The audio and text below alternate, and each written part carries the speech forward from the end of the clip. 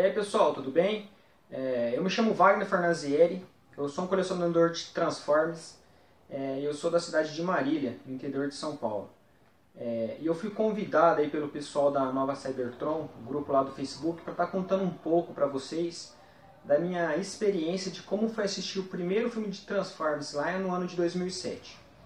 Só que para isso eu vou precisar voltar um pouquinho mais no passado, bem no finalzinho dos anos 90, ainda não tinham redes sociais como existem hoje, e a internet também era um pouco mais fraca do que é hoje, um pouco mais lenta, a gente não tinha tanto acesso à internet como a gente tem hoje. E eu lembro que surgiam alguns rumores de que alguns desenhos é, lá do final dos anos 80 é, iriam virar filmes. Entre esses desenhos estavam Thundercats, é, Comandos em Ação, Caverna do Dragão e Transformers. Só que eu lembro que eu achava que ia ser um pouco difícil fazer um filme dos Transformers, né? Porque como que ia fazer um caminhão que virava um robô? Eu achava que tinha uma certa dificuldade. E com a mesma velocidade que esses rumores surgiam, eles também desapareciam.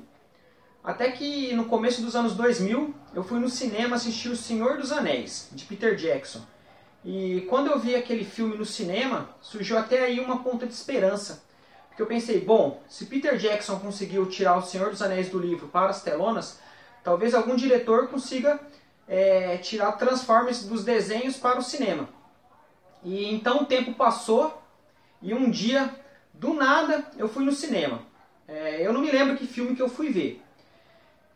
Eu só sei que quando eu cheguei para comprar o ingresso, eu vi dois blisters gigantes, acima dos dois metros.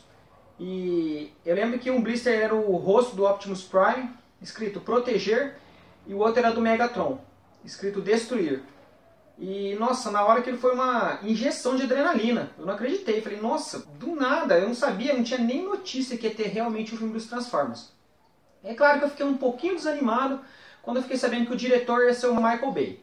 Porque eu não sou muito fã dos filmes do Bay, desde lá da época de Emergedon, Bad Boys.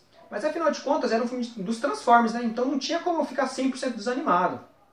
E eu lembro que eu fui no cinema sozinho, porque na época eu ainda não era casado. E o que me chamou muita atenção mesmo naquele dia é que a plateia era praticamente composta por adultos. E sempre pessoas acima dos 30 anos, quase, quase que não se via crianças no, no cinema. E a cena que mais me marcou, que eu lembro até hoje que foi aquela o final da batalha ali entre o Bumblebee Camaro 74 e o Barricade, que ele começa a conversar com o Sam aquela música top instrumental de fundo e que ele chama os Autobots e os Autobots caem na Terra em forma de meteoro. Aquela música muito empolgante no fundo e eles começam cada um escolher o seu veículo e eles se encontram naquele beco com, com o Sam e eles começam aquele processo de transformação. Nossa, aquela cena chegou a arrepiar. Falei, nossa, meu, que, que loucura, que loucura. É, foi uma cena que me marcou e mesmo sendo um filme do Bay, com as características do filme do Bay, é, eu tenho que tirar o chapéu para ele, que aquela cena foi muito bem feita e vai ficar na recordação. Pessoal, muito obrigado por essa oportunidade. É, quem ainda não é inscrito no canal, se inscreve aí, curte aí o nosso vídeo e vem para a nova Cybertron com a gente. Um abraço.